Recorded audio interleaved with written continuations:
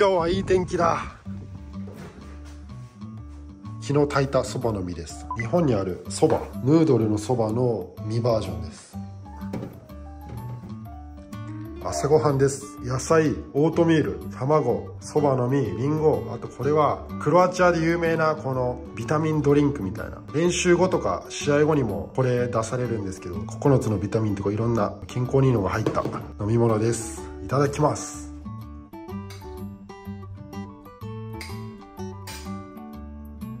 おはよう。今日も楽しんでいこう。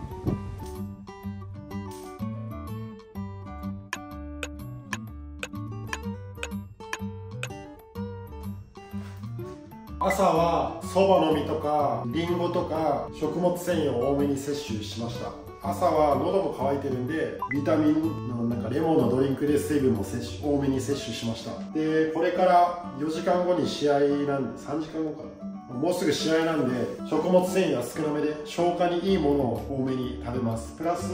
夜は試合後多分イノシシ肉とか豚肉とか牛肉とかそういう肉系が出るんで昼は魚にします。いろんな種類のタンパク質を取った方がいいんで、まあ、炭水化物も全てそうだし。1日にいろんな食材を摂取食べるように気をつけています。ということで魚を焼いていきます。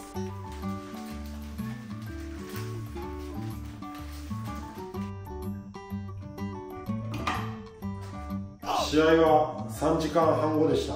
10分ちょいで調理して2 3 0分で食べればキックオフ3時間前には食事終わっていることになります。それを目指して調理して食べていきます。そばの実より吸収が早いお米も食べていきます玉ねぎとニンニクも調理していきます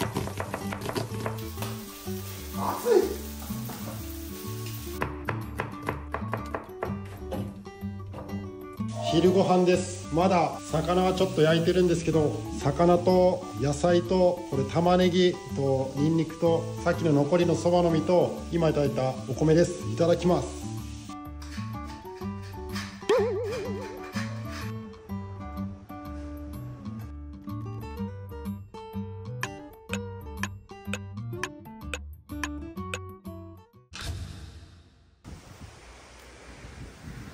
今日はね俺にとって第5戦目です。俺らのチームは今8チーム中6位なんですけど相手は今日3位。しかも今日アウェー戦。プラス俺らのキャプテンは前回の試合で怪我して今回は出場できません。プラス俺らのチームの唯一いたキーパーも怪我して今回の試合出れません。なのでキーパーがちょっとどうなるか分かんない。どっかからキーパー連れてくんのか俺らのフィールドの誰かがやるのか分かんない。そういう状況でも勝ち点1でももぎ取ったらあの監督が言ってたんだけど俺がバーベキューをおごったるぜって。今日勝ち点1でももぎ取ったら引き分け以上で監督が今度の練習後にバーベキューをおごってくれるらしいんでそういうもうバーベキューもめっちゃ食いたいし俺食費自腹なんでいやもらってるけどね。そういうバーベキュー欲しいっていうのもあるしもちろんプロになる上で個人としてもゴール欲しいしチームとしても勝つ必要があるしこうやってね家用意してくれてこんな素晴らしい街に住ましてくれてるオーナーのためにも洗濯とかオーナーに全部してもらってるし絶対に勝ち点1もぎ取りよ。で俺はねこう考えるんだ。そのキャプテンが怪我したのもキーパーが怪我したのももし源が俺だとしたら俺が源だとしたらって考える。別に自分を責めれるわけじゃなくて俺がもっといいコーチングでできてたらもっと走れてたら技術的にもっと上だったらキャプテンとかキーパーへの負担を減らせたし彼らもしかしたら怪我してなかったかもしれない。もし俺が源だったらって考えるよ。自分を責めるわけじゃなくて自分に矢印を向ける。どうやったら改善できるかなってことを常に考えていく。今日は2024年9月29日日曜日。クロアチアリーグ第5戦。一生に一度しかないこの瞬間。俺が現役でサッカーやってられるこの瞬間。全力でサッカーを人生を楽しんでくれよ。それでは皆さんまた。クロアチアにいること忘れたもんね。なんかもうスター気分だよねあっこ行ったら。ある意味。ある意味スター気分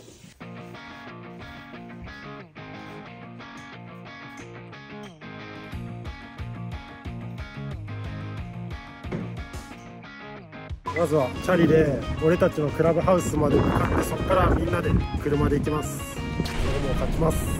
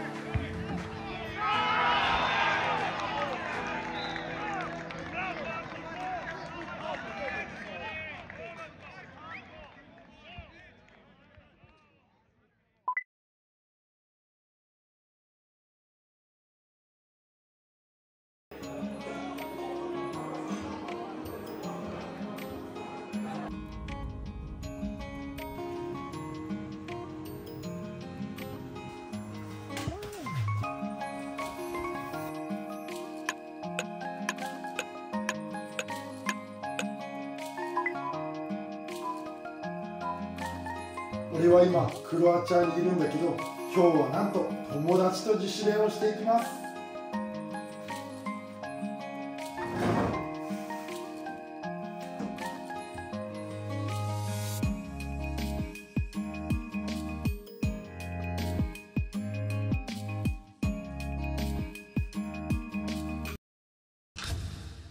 今回の第5戦のお得戦は残念ながら1対4で敗れてしまいました。今回も作戦ボードを使いながら解説していきます。背番号を実際のものと合わせてほしいっていうコメントもあったんですけどちょっと今回いろいろあって最終戦なんですいませんがちょっと番号は合ってません。この6番を俺ていうのだけ合ってます。ちょっとそこだけすいませんがご了承ください。で俺らはこの青ですね。いつも通り433で中盤の3はちょっとトップ下とボラ2ボラみたいな感じ。で俺はいつも通り左ウィング。俺らの戦術としてはいつも通りなんですけどそんなハイプレスはしない。で攻撃時もクロス。クロスが唯一の戦術。相手433だったんで、まあ、4バックで回してくるんですよ。でその時俺ら守備の決め事は一切ないんですけどキャプテンが怪我したんで3番が今までベンチだった人が入ったんですね。キャプテンが前節で怪我して今回不在なんで。でこいつがノリでなんか2トップ気味になってこのセンターバックに牽制いくみたいな感じでその結果11番が開くんですよ相手のボランチの。そこにこのボランチが行く。または3とか10がこの11番のボランチを蹴りながら例えばこの4に当たりに行く時は11番を背中で消しながら行くとかまたはこの3が相手センターバックの4に対して当たりに行く時は10が11締めるとかそういうのをちゃんとやらないチームなんで結局前半は結構ここ使われたりしてこの時俺もちゃんとコーチングできればよかったんですけど俺の場合この相手の右ウィング8番が強くて俺らの左ウィングがちょっとかなり劣勢だったんで守備する際もこのこいつを気にしながらかつ自分のマークであるサイドバックも気にしながらかつこの9番近い方のボランチも気にしながら例えば、まあ、俺が6に行く時は9を味方のボランチに見させるとかこいつについても味方のサイドバックとコミュニケーション取りながらとかなかなかこの3人6番9番8番3人を見るのに精一杯でなかなかこの11のことまで例えばボランチに縦ずれしろとかこの10が行く時に3しっかりボランチ11番見ろとかそういう声かけをできなかった。今この698 5あ4人か。じゃあこの4人は消えられたけど11まではなかなか見れなかった。そこは俺の余裕というかもっとフィジカルがあれば頭に酸素もあるんでフィジカル的な課題もそうだしサッカー IQ 的な課題。上から見るサッカーじゃなくて俺はプレイしながら見る必要があるんで平面であこういう現象起こってんだな。この11ぽっかり開くからちゃんと締めさせないととかボランチを縦ずれさせないととかそういうコーチングもできたらもっと前半いい感じで戦いを進められてたと思います。で前半は俺らの PK で決めて1対0で先制してたんですけど今回アウェーっていうのもあるし相手が3位で俺らは6位で相手が強いってこともあるし1点だけじゃなくてもっと点取りに行こうっていう考え方だったんですよ監督が。だからコーナーキックの時俺いつも戻るんですよ。このセンターフォワードだけいつもここに残って相手のコーナーキックの時ですね。てかゾーンかマンマークも決まってないんですよ。ストーンとかここに人がいるのは決まってるけどゾーンかマンマークは決まってない。まあけどなんかこのチームメイトの動きとか見る限りマンマークにしたいんだなって思って俺はいつも「お前こいつ見ろお前こいつ見ろ」って例えばこの、まあ、Q がここに浮いてたら「おいちょっとこいつ見ろ」みたいな指示をしてたんですよ。味方がマーク外すんで。で今回は監督の指示で前残りしろって言われて、まあ、前残りしてたんで、まあ、相手が3枚残って取って俺とこのフォワードでコーナーキックで弾かれた弾いた時をどう回収しようかなってこの3番5番4番相手がどういうポジショニングでここに待機するのかなみたいなことを考えてて味方のディフェンスのことまではしっかり見てなかったんですよ。試合中は分かんなかったんですけど後でビデオ確認したら味方が全然マンマークつけてなくてまあつこうとはしてるんですけどうまく、まあ、マーク剥がすやつがいるんですよ。例えばこのボールエリアにふらーっといながらキック蹴り込まれる時にうまくここに来て空いてるとかそういうので相手がフリーを作って結局そいつに決められるみたいな、まあ、そんな感じでコーナーキックで点を入れられ入れられました。多分これ俺がここのちゃんとディフェンスラインに入ってればちゃんとコーチングできたしプラスこっからでもおい11 10番つけとかそこまで意識が回ってれば防げた失点だなとは思います。で次は後半ですね。後半になって初めて監督から戦術の変化がこれ5戦目なんですけど初めて会って俺びっくりしたっていうか、まあ、感動したんですけどあの今までこのトップ下の4がノリで2トップ気味になってディフェンスしてたんですですけどそれをやめさせてこの3番が4番に行く相手のセンターバックので俺がこの5番見ろって5番にもプレス行けって言われたんですよ。えじゃあ11どうすんのって思ったんですけどまあそれに関しては何も言われてなくて、まあ、質問すればよかったんですけど俺もちゃんと理解できてなくて後で監督はクロアチア語しか喋れないんでなかなかコミュニケーションむずいんですよ。俺のクロアチア語レベル的に。だからチームメイトに英語で聞いたんですけどいや11のことはもう何も言われてないからもうお前が頑張れみたいなそんな感じだったんですよ。えじゃあ俺どうしようと思って考えたのは例えば、まあ、5番4から5に来る時11を背中で消しながら11へのパスコートパスコースを消しながら5にプレスいく。でその時こうやって5に入った時はもう11に出せないからこっち側に蹴るしかないしまたは11から戻しのパスの時に俺が11を消しながら5に対してプレスに行くみたいな。前半もまあ俺のノリっすね。ノリというか自分の体力がある時はやってたんですけどチームとしての戦術の決め事じゃないからなかなかハマりづらかった。ただ後半はまあそれを指示されたわけじゃないけど5には行けって言われたんで俺なりに考えてこの11を消しながら5にプレス行きました。でまあ結構その結果5も苦しんでロングボール蹴ってまたキーパーに返して戻してキーパーは足元がやっぱそんな上手くないんで横に蹴り出すしかなくて俺たちのチャンスが増えるとか。そんな感じで後半チャンスは増えたんですけどなかなか点までは取れずっていう状況でした。後半また相手のコーナーキックで1点入れられちゃうんですよ。で俺はまたこのずっと前残りする戦術だったんでこのディフェンスラインには参加できずコーナーキックで2失点1対2になりました。75分になって俺はベンチに下がります。っていう状況でした。ベンチメンバーは結構スタメンとの差が激しくてあなんかもうこれゲーム捨てたんだなみたいな感じに正直思いまして。で結局その後2点返され2点入れられて1対4で負けるんですけど。まあでもそのゲーム捨てるっていうのは捨てるじゃないけど、まあ、その戦術的には間違っている可能性もあるけど戦略的には正しいかなと思っててそのベンチにいる選手たちは18歳とか19歳とか若いし俺はこの外国人としてやってるんですけどいついなくなるかも分かんないけどこのベンチにいる選手たちはこれからのこの俺らのガレブ・オポロベッツを背負っていく選手なんでそういう選手たちに出場機会を与えるのは戦略的には正しいと思います。ていう感じですね今回の試合は。今回俺は75分までしか出場できなかったんですけどこれからのガレブ・オポロベッツを背負う若い選手たちに出場機会を与えるのは最もな判断だと思うしだとしたら試合を監督に捨て試合と判断させないためにも俺が75分までにもっとクオリティを出す必要があった。俺がもっと走れればもっと技術的に高ければサッカー IQ も高ければ試合をもっと有利な展開に進められていたし前半から相手のサイドバックとセンターバック2人を俺が1人で相手にするみたいな